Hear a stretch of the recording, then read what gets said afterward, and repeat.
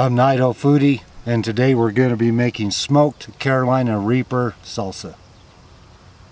I'll put the recipe down below in the description but I'm going to have four Roman tomatoes, six tomatillos, two jalapeno peppers.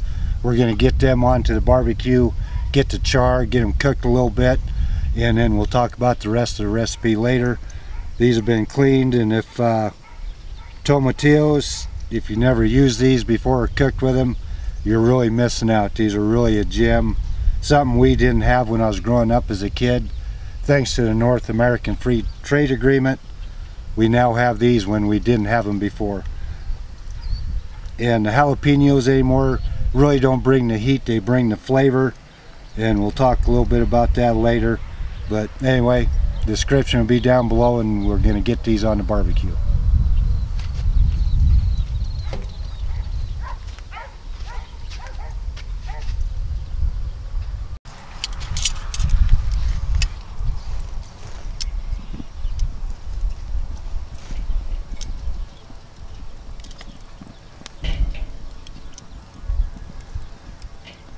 I have the jalapeno stemmed up.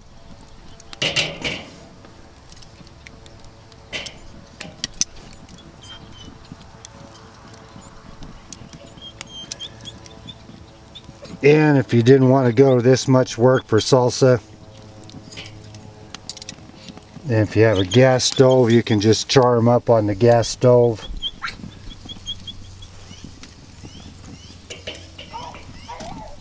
or on a hot plate will work. Anyway, we're going to let those get charred up and we'll be back in a second.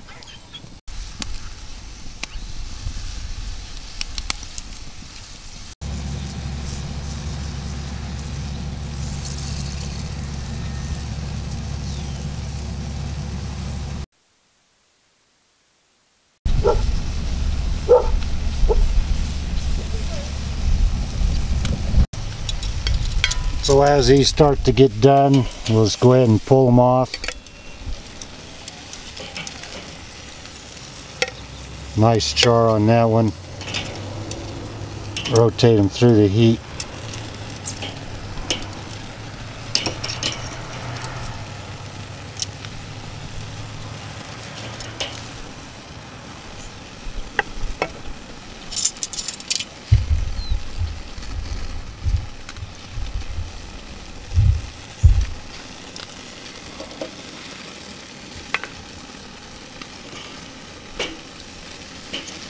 Let them cool a little bit before we throw them into the blender.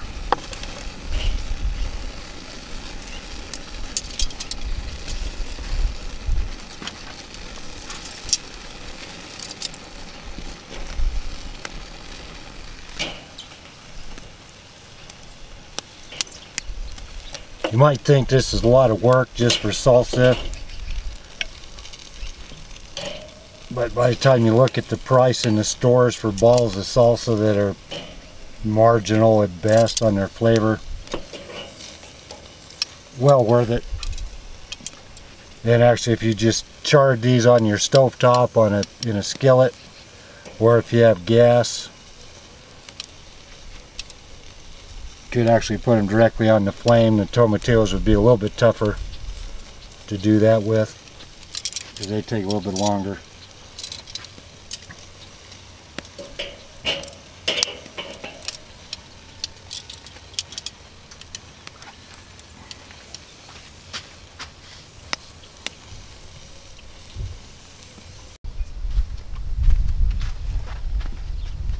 So the tomatoes, tomatillos, jalapenos are cooked off the grill. They're cooling down a little bit. We'll get the blender out and get them mixed. But it's amazing how you start a YouTube channel and people send you stuff. Uh, especially when you go on the internet and you buy it and they send it to you. But this Carolina Reaper was sent to me by my son in uh, Oklahoma City. He grew it, shipped it out to me and it was not stored high in transit. Basically, it was an envelope, everything got stacked on it.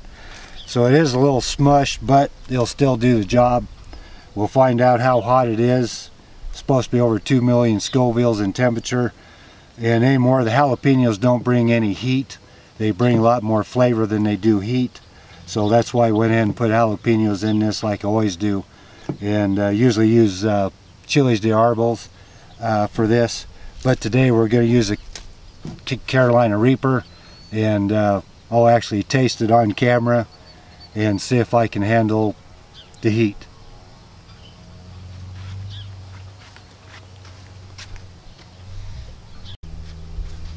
The beauty of these salsas is once you find the flavors you like, they can be adapted. You could add more garlic, more onions. Uh, so basically with this recipe or any of my recipes, you don't have to follow it to a T. You basically cook it, make it your own. Find out what you like, what you don't like.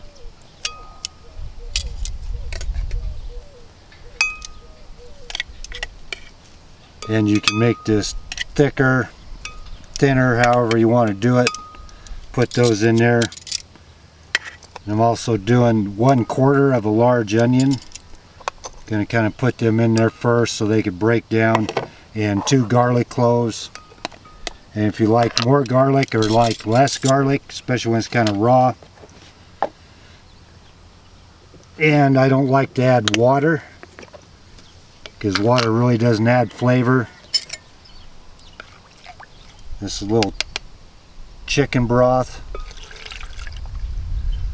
And if you like it thinner, thicker, that's how you dilute it. And then one teaspoon of salt.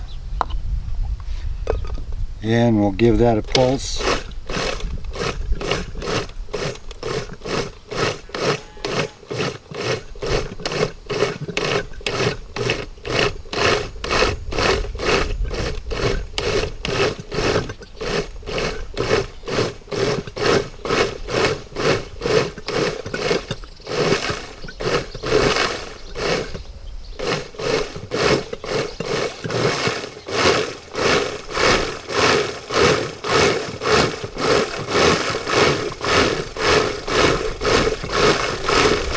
Plus the char gives it a good deep, deep color.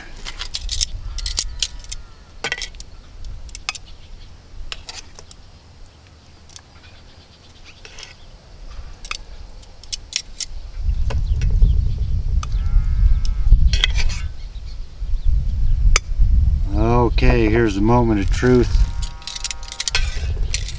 The oils from this chili have actually kind of downgraded the plastic a little bit. Well.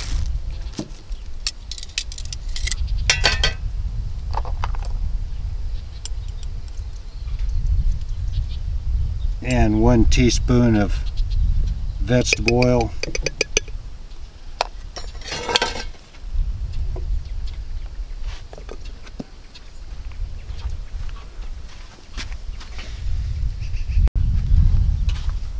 And we're ready for our final blend here. Resituate the camera.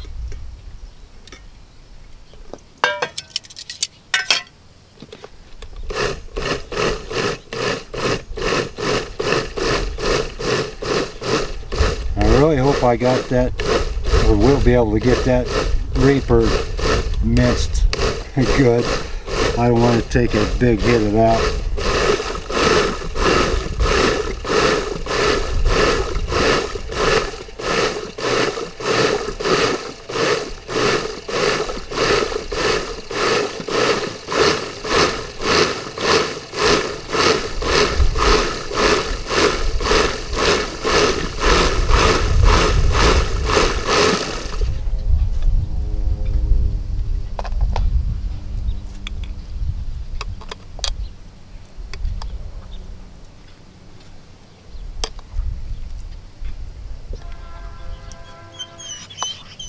How much you blend it. All depends on how you like it.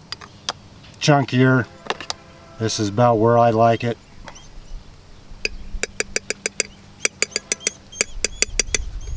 Well we'll get that plated up and uh, we'll do the taste test on it.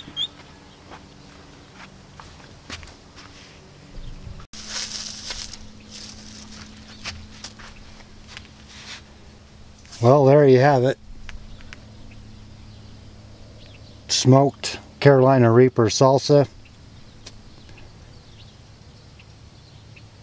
easy to do and it really doesn't cost that much more to make it yourself than to just buy a jar of salsa or even the better stuff you might find in the produce in the reefer there you know that someone's made fresh it's three dollars and fifty cents for a, a pint when I basically made a half a gallon for probably five or six bucks by the time you add in everything. So anyway I guess it's time uh, to give that a taste. Well and I haven't cheated. I haven't tasted this yet.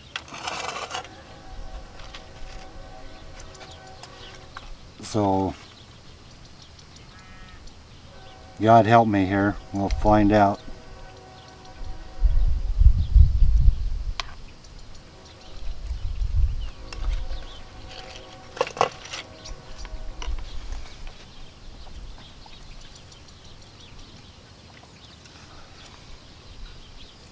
yeah the heat's heat's climbing. Has a pretty good flavor the smoke to it.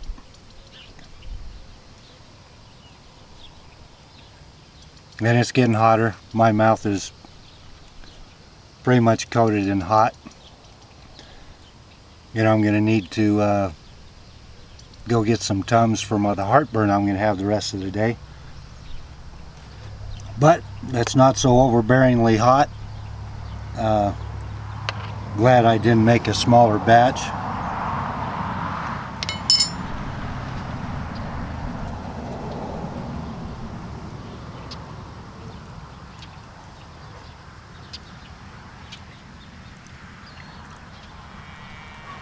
Yeah, that is pretty warm. Not over the top warm. I've had a little bit hotter. No, that's pretty good. My wife, wife won't be able to eat it. Uh, probably end up taking it to work. Ooh, yeah, that's pretty warm. So anyway, I'm Idaho Foodie. If you like this, uh, please like, give a like, leave a comment, subscribe if you want. Uh, I'm going to be doing one more video of uh, salsa verde and this is getting hotter. Do that this weekend, hopefully get them both out Saturday or Sunday. So anyway, thanks for watching and uh, we'll talk to you later.